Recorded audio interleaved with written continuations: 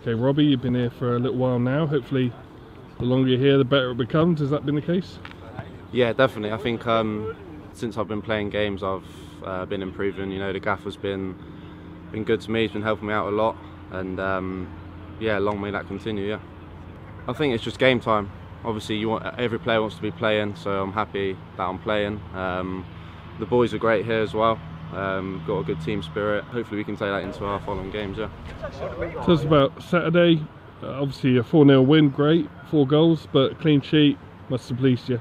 Yeah, definitely. Um, clean sheet, obviously, the main thing as a defender is what you want every game. Uh, but yeah, the boys were brilliant. Great away away performance. Um, four goals at half time, couldn't ask for more. But after that, it was just focusing on getting a clean sheet, and um, I thought we defended well throughout the whole game. And how do you think your partnership in central defence with uh, Carl is uh, developing? Um, developing well. I think um, first few games it was a bit open at the back, uh, a bit too easy to get for the opposition to get through. But uh, we've been working on that in training, and um, I think it's getting a lot better. Obviously, from a result side, you can see that as well.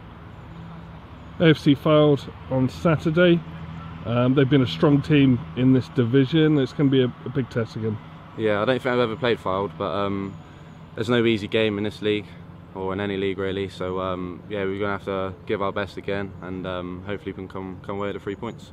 And what have you made of uh, Plainmoor playing at, at home? Uh, what's it been like? Yeah, it's been good. Uh, the fans have been great. Um, obviously, last year I played against Torquay uh, with Bath, so and the fans are really great. Uh, nice pitch as well, which always helps. So um, yeah, I'm really enjoying it.